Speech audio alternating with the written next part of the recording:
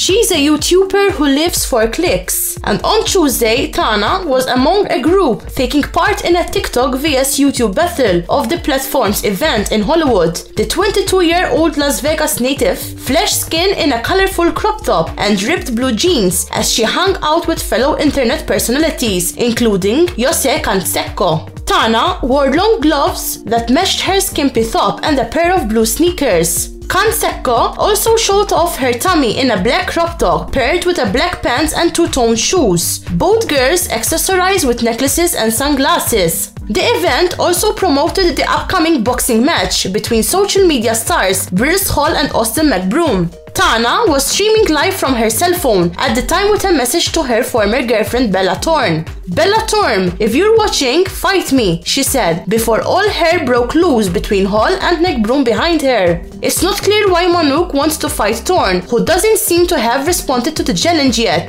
Mongeau and Thorne dated from 2017 to 2019, although from 2018 onwards they were a throuple with a rapper Mod Sun.